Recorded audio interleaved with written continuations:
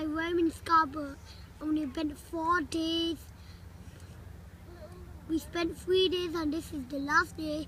20 minutes, then we're gonna go home in a train for two, three, three and a half hours.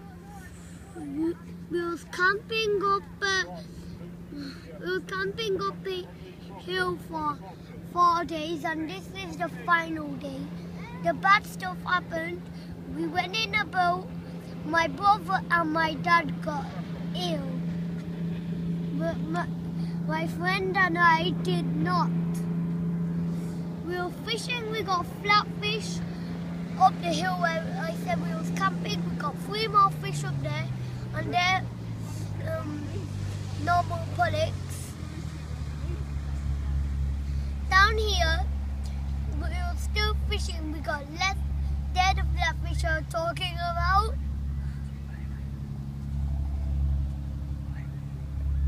And we're sitting and sitting right here demonstrating was doing.